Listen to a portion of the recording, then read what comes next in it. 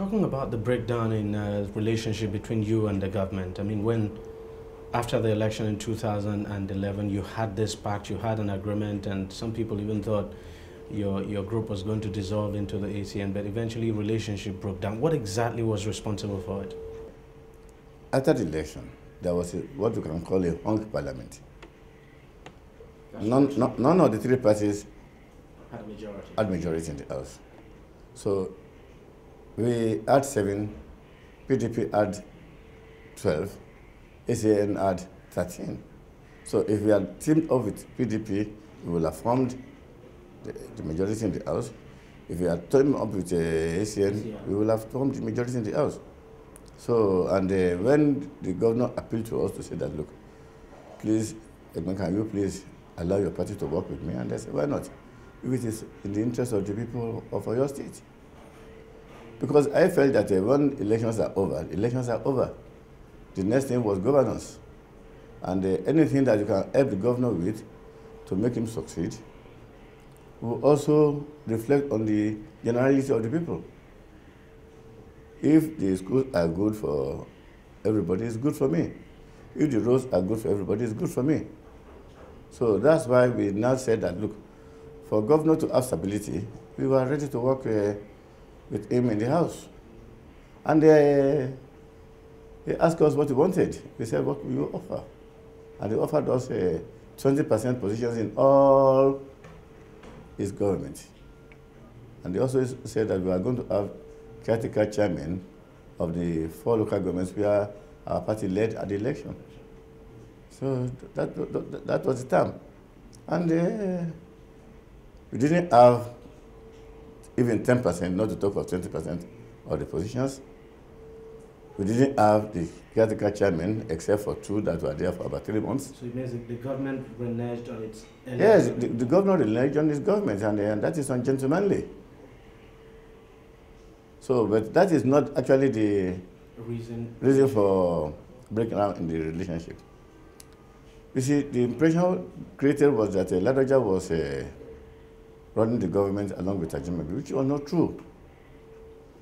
Uh, So when Ajimobi started his uh, anti-people policies, we had to talk out because it was not part of our agreement that we are going to dissolve into the ACN. We were a party in our, own, right- in our own right and we wanted to stay. So when it became clear that uh, the governor was not going to fulfill his agreement with us because all along what he was saying was that uh, yes, it was because uh, Bodalam was not uh, uh, comfortable with uh, the agreement. That's why he was not uh, was he was being cautious. But no sooner Bodalam died, then he became the leader of his party. He became the alpha and omega in his party, at least in Oyo State. So he felt that uh, he didn't need us again because he, want, he was actually using us as a protection against Brother Lam. So he would tell Brother Lam that, look, Ladoja is here uh, to assist me if you are not playing ball. So, but, finally we found that uh, that was the reason. And uh, so when he started uh, his anti-people policies, I said, look, we cannot go on like this. So tell me, what exactly are these anti-people's policy you're talking about? What are they? Yes, he wanted to expand the roads. Good idea. Good idea, yes. We don't say that you should not do, you should not do that one. But uh, what about people that are having their shops there? Have you provided alternative for them? And I told him that this is not the first time that uh, such things happen. When Bola Ige wanted to move the baggy traders away from the place, he created another baggy. That was the Bolage uh, business uh, complex at uh, Ife Road. When they wanted to move the people away from Dubai, they created a national market. So I do not say that do not develop the st- the state, do not make roads, but you must also know that uh, those people, that is their means of livelihood. And uh, later on, he started saying that uh, what are they selling? They were selling was That is, uh, to him, they were, they were selling rubbish. But uh, that is rubbish they were selling, with which they were selling their children to school, even to the university. You see, but there's a funny place. There's a place that I knew from the time I was born. We used to call the place Leonigo. The only thing they were selling there were empty bottles. And yet they have produced lawyers, doctors, engineers with the proceeds of those, of those years. So when you, when you start now saying that the people did not, when you are destroying their, their means of livelihood, then you are not saying that uh, we, are, we, should, we should keep quiet and not talk. We have, we of course we have to talk.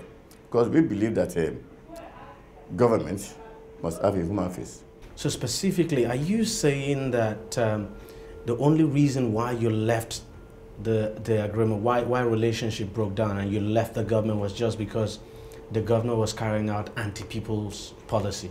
No, no, we, we, we, talk, we, we, we, we, we, talked, we talked about the anti-people policy, but the government also was not comfortable with us We say, like, if we are together, if we are together, then you should not criticize me. Even where, even where the criticism is, is uh, constructive. So, so we waited until he said, I didn't need you again, so I'm, I, am here by second my people. And I said, and, and I said, good. And uh, luckily, we did not lose anybody to his government. We had about 32 or 35 people in the government, and all of them came back. It has never happened in the, in, in, in the history of a political parties and government in Nigeria. So what other thing was the governor doing that didn't go down well with you? Most of the time, deep thoughts don't go into, the, into their planning. I can't really explain because, I mean, a leaflet came to my hand of recent, whereby they said that uh, they were comparing the Mokola bridge that has been commissioned with uh, Ogun State one. Ogun State was said to be 640 meters, four lanes. Oyo State was said to be 420 meters, two lanes. Ogun State did not have a barrier, which means that any vehicle can go on it, including tankers and trailers. Oyo State, even a jeep cannot go on it because it, which means that it is so fragile. And yet, for every square kilometer, for every square meter of the bridge, while Ogun State paid one naira, Oyo State paid six naira. Because that of Ogun State, 640 to 420 in length, four lanes to two lanes in width, cost 1.5 billion naira. That of Oyo State cost 3 billion naira. So what, what's happening? Is the terrain of uh, Oyo State worse than Ogun State? Or that of uh, Oyo State made in gold? So some deep thoughts do not go into this issue. Then the same, and, and it's just like that in many issues. Because the civil servants are no more available because most of their top echelon have been sacked. So, what is going to happen? The, governor is denying himself the opportunity of knowing what happened before. Because the civil service is supposed to be there, go government coming, government go. And they are supposed to brief whatever government is coming. So who is going to brief the governor? And anything, in fact, I was told that uh, the man in charge of uh, bridges in uh, State was sacked because he told them that the, the, the, there was a design fault in the bridge at the, at the inception. And he was sacked. So the man who also refused to pay the, to send the variation on the bridge also was sacked. That's not the way you run the government. That is not the way you run the government. You have to take it that the government the governor will come and the governor will go. The civil service is there. Personally, how would you assess the performance of this governor, the governor of your state at the moment? It's too early to assess him. It's, it's been two years. No, yes, it's too early to assess him because uh, uh, campaigns have not started. Some people would say, well, two years is uh, quite a long time with which to assess someone. And he's been there for two years now, and some people have been saying he's doing very well. If you say very well, it's, re it's relative. It's where you stand. I am for the people. I don't think, I think we can still do the same thing by not destroying the people's livelihood. I know you would say 2015 may still be far away, but let's, let's just talk about it. You're a politician. They say um, you know, no time is ever too long in politics, and besides, everybody's talking about 2015 now. So 2015, what is your plan? What do you plan to do? Uh, you know that, uh, one, I'm an, I am an engineer. I don't believe much in speculation. Two, I do not know whether I will be alive by then. But if by the grace of God I am alive, then I will do whatever my party asks me to do. Are you asking me whether I was going to contest? Sure. If that is the wish of my party, I will contest. So you mean if your party asked you to run for governor, you would do so? Of course, yes, I will. And you wouldn't be bothered at all by criticism because some people would, for instance, would say, what else do you want? That you've been governor before, so what, what, what, what would you want? What, what, why would you want to come back? The service, and you have to understand one thing. The love the people of Oyo State showed me at the last election was enough to make me become their slave. You buried the party in two months, and you got substantial votes. That's uh, incredible. And that is enough to enslave me. So all my life now, the only thing I have to do is to serve the people of Oyo State as much as I can. In 2011, you won the areas you won, of course. I mean, your party did well, no doubt at all. New party, and a lot of people have given you credit for um, the achievement of that party in Oyo State within a very short time that you joined it.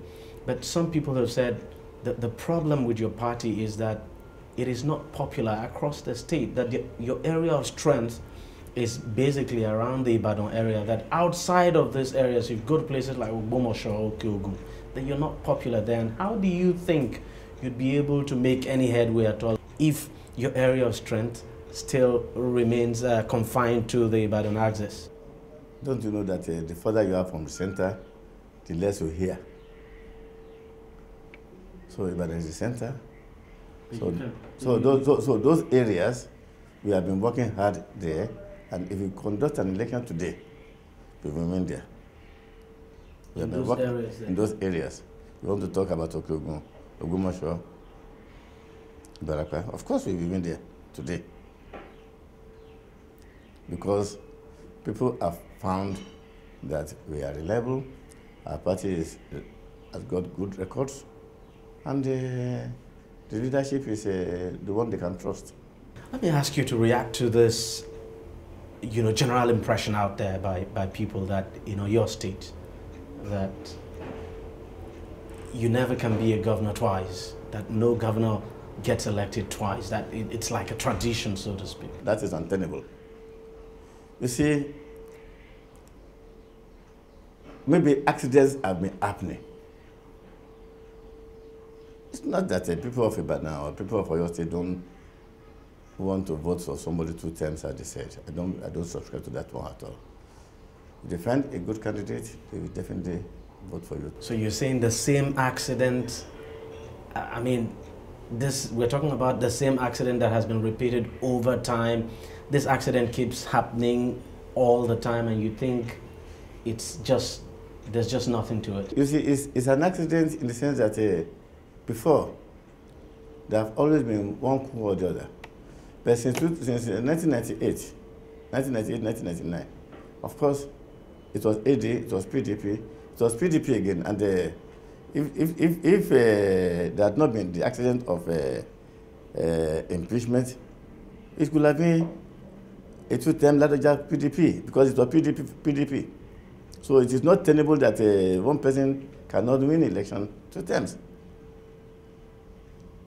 So it depends on, uh, so that's why I said that accidents will happen. And the accident that happened in, in PDP is already getting more and more glaring. I mean, it's tearing the party already apart.